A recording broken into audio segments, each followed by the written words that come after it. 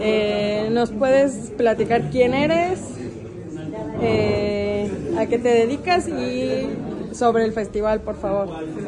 ¿Qué tal? Yo soy Enrique Montoya, soy el director del Espanto Fest, soy un realizador iraquiense eh, que ha tenido la oportunidad de, de- de poder colocar proyectos en otros, en otros países y esa misma necesidad de, de- de tenerlo aquí en el, país creo que ha sido la que nos ha llevado a motivarnos a que creemos el Espanto Fest, un espacio seguro para todos los realizadores y realizadoras independientes.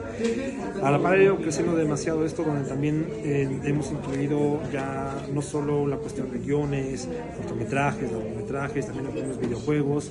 Somos, yo creo que el festival con más participación femenina, en cuestiones de directoras.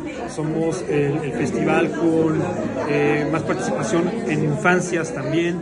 Tenemos una sección que se llama Espantito directamente, porque creo que estamos dejando muy olvidadas a las infancias y creo que eso, eso debe ser uno- un motivante mucho más fuerte en decir que esta es la nueva generación en la que estamos, estamos queremos trabajar. Eh, nace en el estado de Hidalgo, pero poco a poco nos hemos ido extendiendo por muchos, muchas partes. Este año estaremos del 24 de octubre al 3 de noviembre. Estaremos también en el estado de Chihuahua con los amigos de FED Chihuahua, con el FIC Tepic, eh, la Escuela de Volando en Oaxaca, bueno, aquí en varios lugares de la Ciudad de México, como lo es el Mala Vecindad, como es la Facultad de Cine, como es el videorama de, del Parque Hundido, como es este Cinema Tepito.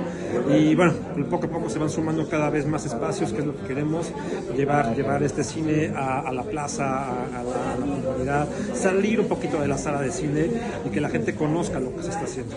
¿Este año traen alguna temática en específico o Este año nuestro, nuestro humor es, darle el homenaje a lo que hemos hecho antes, ¿no?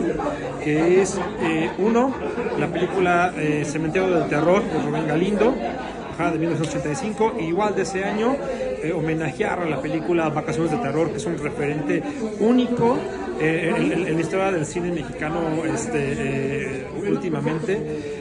¿Por qué? Porque estas películas mucha gente o esta última generación las desconoce, entonces creo que es necesario que vean que a lo mejor antes sin efectos visuales y sin todo, toda esta cuestión, pues realmente había eh, es- es- esta eh, situación tan terrorífica de, que una muñeca que se llamaba Gaby realmente se movía y causaba un, miedo este, fenomenal, ¿no? Entonces creo que eh, tener y darle, darle eh, el, el homenaje a, a estas mujeres que son nuestras Final Girls, como es Gabriela Haase, como es este, la, primera actriz, este, Nuria Bajes, creo que lo merecen, lo merecen, entonces estamos enfocados mucho en eso.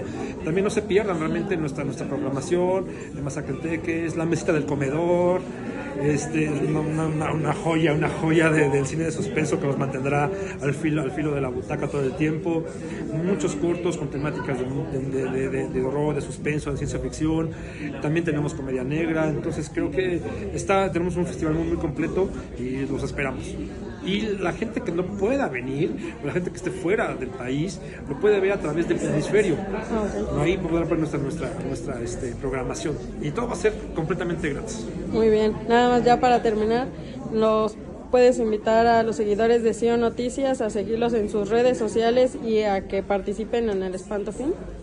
A, todo- a todos los seguidores, a todos los amigos de Sion Noticias, muchísimas gracias por acompañarnos. Síganos eh, en nuestras redes, Espanto Film Fest en todas. Eh, X, Facebook, Instagram, YouTube, también TikToks. No bailo, pero lo haremos próximamente. Y este vayan, vayan, vayan al festival, véanlo. Tenemos realmente este, cosas increíbles. Y pues muchísimas gracias. Gracias a ustedes.